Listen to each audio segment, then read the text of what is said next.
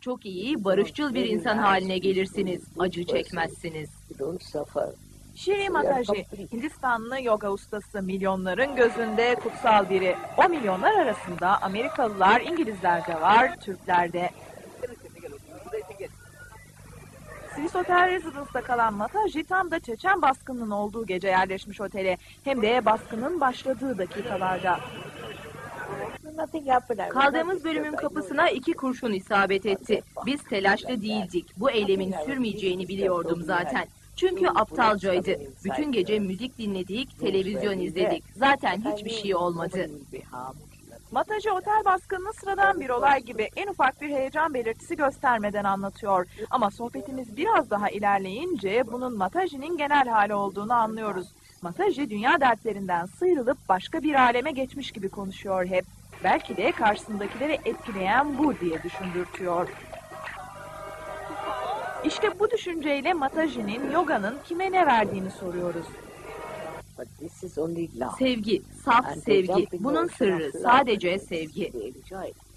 That love is uh, cannot be Ona Türkiye'de yoganın biraz moda gibi algılandığını söylediğimizde ise hafif bir tebessüm beliriyor yüzünde. Yoga vücudu değil ruhu güzelleştirmek içindir. Moda gelir geçer ama yoga ruhunuzu güzelleştirir ve para da istemez. Ona göre sevgi her şeyin anahtarı. Peki ya onun özelindeki sevgiler? Hiç aşık oldunuz mu? Hayır, ben o tarz biri değilim. Romantik değilim. Çünkü bir kişinin peşinden giderseniz kısıtlanırsınız. Oysa bütün dünyayı severseniz hiç hayal kırıklığına uğramazsınız.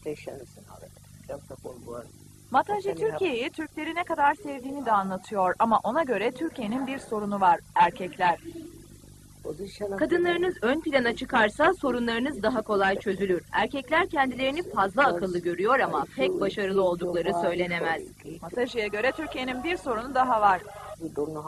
İş yapmayı bilmiyorsunuz. Parayı doğru kullanmayı da. Bir sevgi insanının paradan söz etmesi doğrusu şaşırtıcı geliyor insana. Biz de ona soruyoruz. Mataji nasıl para kazanıyor, nasıl harcıyor? My husband was very high. Kocamın her zaman parası vardı. Çocuklarımın da var. Bizim öyle bir sıkıntımız olmadı. Mataji paraya ihtiyacı olmadığını bu yüzden dünyanın öteki yerlerinde olduğu gibi Türkiye'de de seminerlerden para almadığını söylüyor. Ve sıra geliyor bizim aydınlanmamıza. Yani içimizdeki enerjiyi keşfetmeye.